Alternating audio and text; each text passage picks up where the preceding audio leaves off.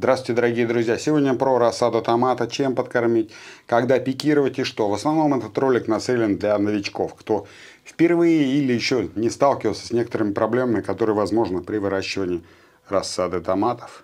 Сегодня от одного из подписчиков я получил вопрос, моя рассада остановилась и не растет. Что делать, чем подкормить? Это первый вопрос, который возникает в голове у нормального человека, который смотрит на них каждый день, через два часа ровно смотрит, ничего не меняется. Первый совет – сфотографируйте и три дня к ней не подходите, если у вас грунт за три дня не пересыхает, потому что пересыхать к рассаде нельзя. И первый совет для новичков – это взять и сфотографировать свою рассаду и посмотреть эту фотографию, сравнить с фотографией через 3-4 дня, хотя бы через неделю, растет она или не растет. Вот в такой стадии рассаду можно уже пикировать. Для индетерминантных сортов такое вытягивание – это абсолютно норма, то есть ничего страшного в этом нет.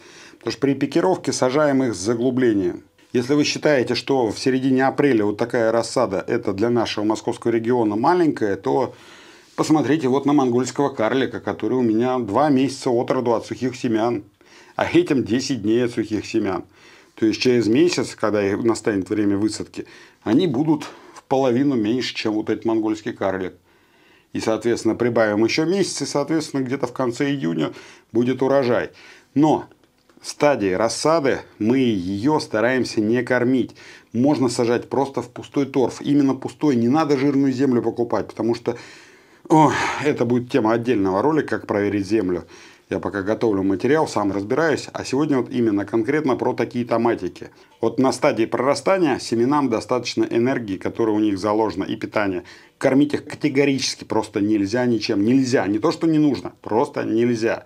Когда они проросли и достало время пикировки, когда полезли настоящие листочки, 1, 2, 3, время уже пришло пикировать. Пикируем с заглублением.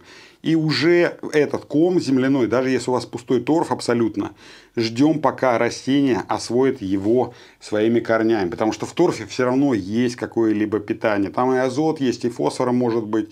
И, соответственно, калий с магнием и со всем вот этим самым. Тем более готовые торфы, которые сейчас продают – там точно от души этого всего насыпано.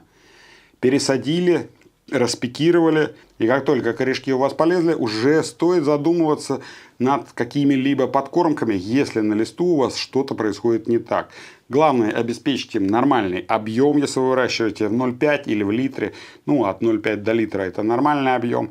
И у вас земляной ком полностью освоен, то, грубо говоря, время пришло к пересадке, перевалке в открытый грунт. Потому что стадия рассады, ну, можно их после пикировки монокалия фосфатом дать по листу, 1 грамм на литр, дистиллированной или кипяченой в воде. Все, под корень это все зло, это все ведет к стагнации растений и засаливанию почвы.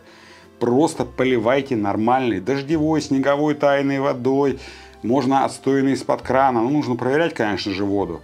А вот эти все подкормки, основная суть вот этого ролика, что подкормки в стадии рассады, они большинстве своем ведут э, к стагнации рассады самой, потому что идет засаливание почвы, соответственно, питание уже не усваивается, элементы блокируют друг друга, растение хереет, вы начинаете с вопросами по всем чатам лазить, чем еще подкормить, еще, соответственно, кормите и получаете на выходе переросшую э, стагнированную рассаду, которая дистрофически выглядит с маленькими листиками, скукоженными в основном своей, в массе своей. Поэтому, дорогие друзья, на мой взгляд, просто посадили, перевалили, поливаем, не заливаем и хорошо на них светим. Сейчас уже достаточно даже солнца ну, если у вас южная сторона, то можно просто растить на окне. Они просто немножечко больше вытянутся, чем это самое. Расстраиваться насчет того, что рассада у вас через 2 часа не выросла, пару больших листьев, абсолютно не надо. Дорогие друзья, если вам был полезен или интересен данный ролик, поставьте, пожалуйста, лайк. Вам, как всегда, в завершении ролика я хочу пожелать здоровья, а все остальное приложится. До свидания, до новых встреч, хорошего урожая.